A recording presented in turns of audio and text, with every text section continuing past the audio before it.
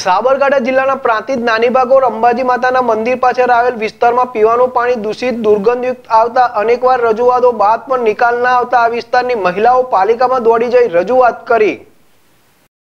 પ્રાંતિજ નાની ભાગોર ward number ત્રણ, અંબાજી માતાના મંદિરની પાછળના વિસ્તારમાં છેલ્લા એક મહિનાથી નગરપાલિકા દ્વારા આપવામાં આવતું પીવાના પાણીમાં કબૂતરના પીંછા, માંસના ટુકડાઓ તથા દૂષિત અને દુર્ગંધયુક્ત પીવાનું પાણી મળી રહેતા આ વિસ્તારના રહીશોએ અનેકવાર પાલિકામાં રજૂઆતો કરવા છતાંય તંત્ર દ્વારા કોઈ કાર્યવાહી ન કરતા આખરે આ વિસ્તારની મહિલાઓ પ્રાંતિજ પાલિકા ખાતે દોડી આવી હતી અને પાણી બાબતે પ્રાંતિજના મહિલા ચીફ ઓફિસર પ્રાર્થનાબેન રાઠોડને રજૂઆત કરી હતી.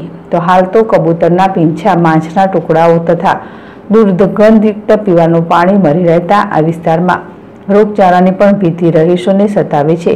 ત્યારે હાલ તો તંત્ર દ્વારા કાર્યવાહી કરવાની ખાતરી આપતા મહિલાઓ પાલિકામાંથી પરત ફરી હતી. તો મહિલાઓએ જણાવ્યું હતું કે જો બે દિવસમાં પાણીનો નિકાલ નહીં આવે, તો પાણીને લઈને ઉપર મુખ્યમંત્રી સુધી રજૂઆતો કરવા જણાવ્યું હતું. ત્યારે હવે જોવું એ રહ્યું કે પાલિકા દ્વારા કાર્યવાહી હાથ ધરવામાં આવે છે કે પછી હોતાય ચલતા હે, ચલનેરો જેવી સ્થિતિ જોવા મળશે, એ તો હવે આવનાર દિવસોમાં જ ખબર પડશે.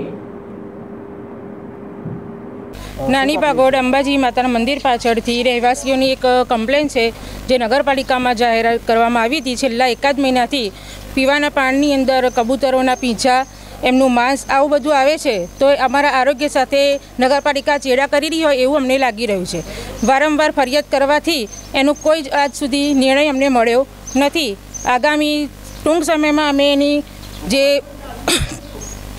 અમારી જે કમ્પ્લેન છે એનું સારું પરિણામ મળે એવી અપેક્ષા અમે રાખીએ છીએ. આનો કોઈ નિર્ણય નહીં મળે તો અમે એનાથી આગળ જવા માટે જે અમારા રહેવાસીઓ છે એ આગળ જવા માટે અમે તૈયાર છીએ. કેટલી વાર કમ્પ્લેન કરી તમે આજથી મહિનાની અંદર અમે બેથી ત્રણ વાર ફરિયાદ કરેલ છે. તો જ્યારે પણ જઈએ ત્યારે આ ટેબલ પરથી પેલા ટેબલ ઉપર જાઓ એવું અમને વારંવાર સૂચના આપવામાં આવી છે.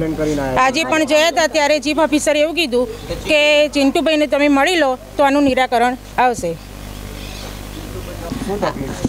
આ પાણી કેટલાક મહિનાથી પાણી ખરાબ આવે છે અને પાણીમાં પીછા, માંસ બધું આવે છે.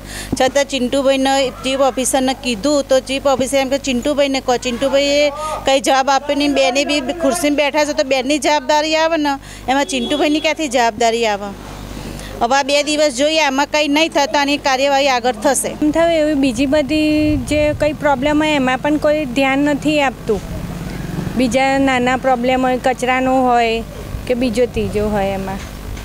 ટોટલી નગરપાલિકાનું કોઈ જ ધ્યાન નથી આપતું એમ.